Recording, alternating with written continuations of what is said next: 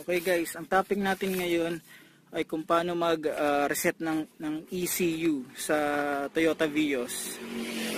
Uh, madali lang yung pagre-reset ng ECU kasi parang nire-reset mo lang yung computer ng Toyota Vios mo yan. Re-reset mo lang yan.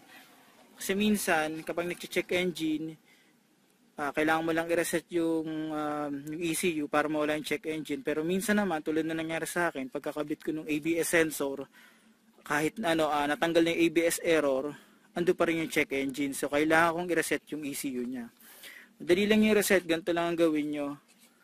Tanggalin nyo yung ano, yung negative terminal ng ano, ng battery nyo for 2 minutes. Okay? Tapos, Okay, wait lang tayo ng ano ng 2 minutes para dito. Basta 2 minutes kailangan tanggal 'yon o kaya sobra sa 2 minutes tanggal yung negative terminal. Ito, tanggal negative terminal sa battery. Okay, kapag naka 2 minutes na kayo, na-connect nyo na to, siguraduhin yung mahigpit yung pagkakakabit para hindi nag-lose yung connection.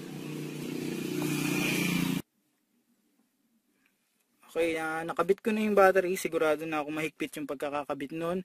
So, ang gagawin naman natin, ito.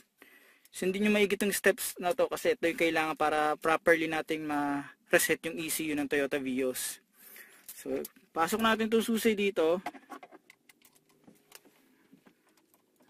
Kung makikita nyo yan, lock, ACC on, saka ACC on, saka start. So, wag nyo i-start ng kotse. Ilalagay nyo lang to sa ignition only. Yan, on. On lang siya, naka-on lang siya. Leave it for 2 minutes. Yan, naka-on lang siya, wag niyo i-start.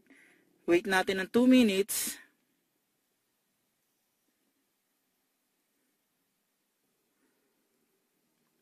Check natin na 2 minutes lang yan dapat.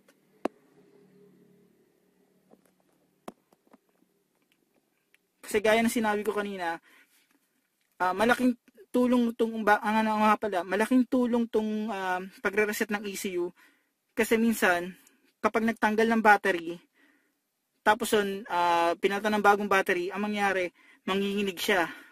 Yung RPM niya bababa at parang kakaiba yung nangyayari sa makina. Pero hindi naman ibig sabihin nun sira yung battery o kung ano man alternator na sira.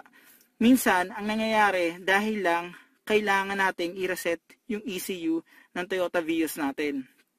So, uh, malapit na to. Uh, one minute na lang.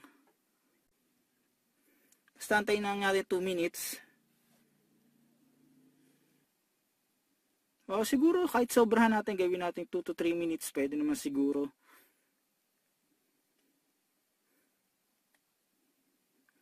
Yan. Naka-on lang yan. Huwag nyo i-start. Tapos, i-push natin yung gas pedal. Pagkatapos ng 2 minutes o 3 minutes, i-push natin yung gas pedal. Ito. Push nyo, i-floor nyo yan, sagad. Yan, nakasagad yung tapa ko dyan. Habang nakatapak yan, i-off natin to. Switch off. Yan. Naka-off lang siya. Hindi nakalaka, naka-off lang. Tapos ng off, nakatapak pa rin sa gas pedal, magantay tayo ng 30 seconds to 1 minute.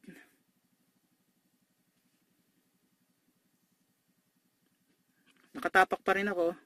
Huwag niyo ipapump ha. Nakatapak pa rin dapat.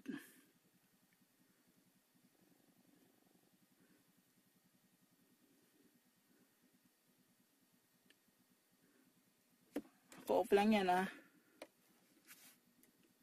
Yan, tingin ko nakaka 30 seconds na ako bitawan ko na to. Pagkabitaw ko start ko na.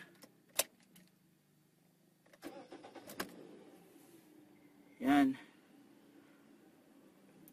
So na start na natin siya. Naka start na yan. Yan.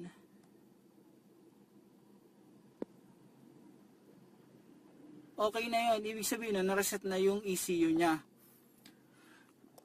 kapag hindi natin ginawa na properly uh, reset reset ng ECU, hindi natin properly na reset 'yon. Yun nga, mangyayari kailangan nyo pang gawin na Sabi nila tumakbo ng mga 15 to 20 minutes, parang automatic niyang ma-relearn yung yung ano, yung ma-relearn niya yung dati niyang ginagawa, yung kung ano yung value ng RPM niya, ganyan. Pero sa paraan na to, ito yung pinaka-effective way na nasubukan ko para ma-reset ang ECU kasi sa nangyari sa akin regarding sa ABS error. So, yun lang siguro. Sana may natutunan kayo dito. Kung kung alam nyo o nakita nyo na effective talaga to, um, pwede nyo i-share o mag-comment kayo dito kung may iba kayong katanungan. Pero mas nire-recommend ko itong uh, process to sa pagre-reset ng ECU kesa itak- itakbo nyo pa ng mga ilang minutes.